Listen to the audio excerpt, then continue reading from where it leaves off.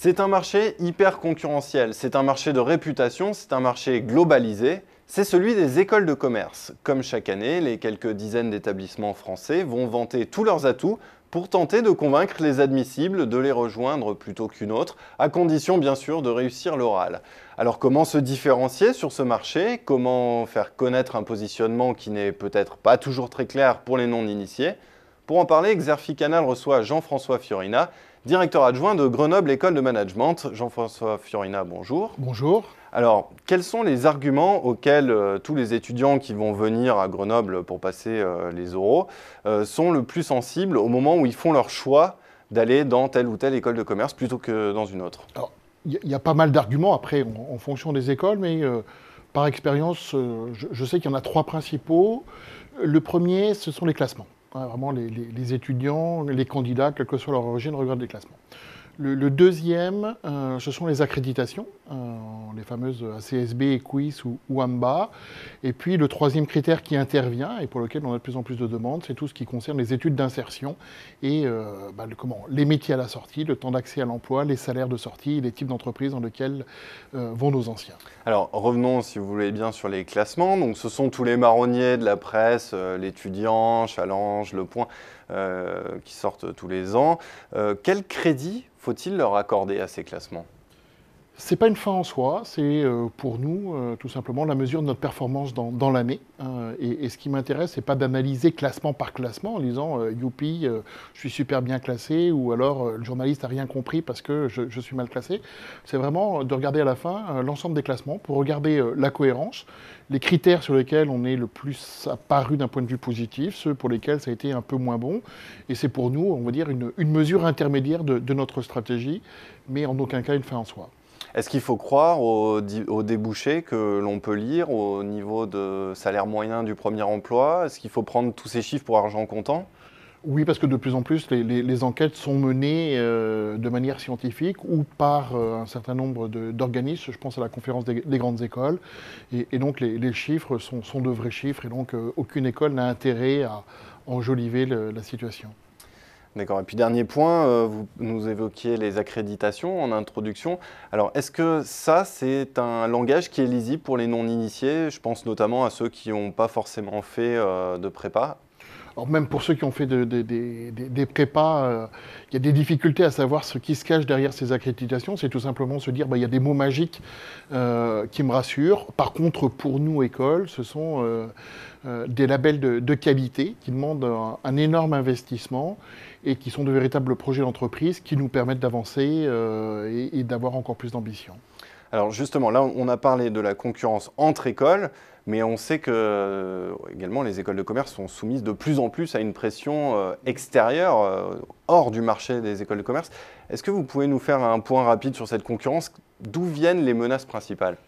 Elles sont de, différentes formes et euh, viennent d'un petit peu partout. Elles viennent aussi bien donc de, la France avec la fac et peut-être plus précisément euh, euh, des IAE. Elles viennent également des écoles d'ingénieurs qui proposent de plus en plus des, cours de, management. Euh, elles viennent également euh, d'organismes de certification, alors qui seront peut-être des alliés des écoles dans les années à venir, mais sur des certifications dans le domaine du marketing ou, de la finance, par exemple. ça vient également des, universités étrangères et, même pour moi, le danger le plus important pour nous et notamment pour une école comme Grenoble, c'est la concurrence internationale. Alors restons un instant sur cette euh, concurrence internationale.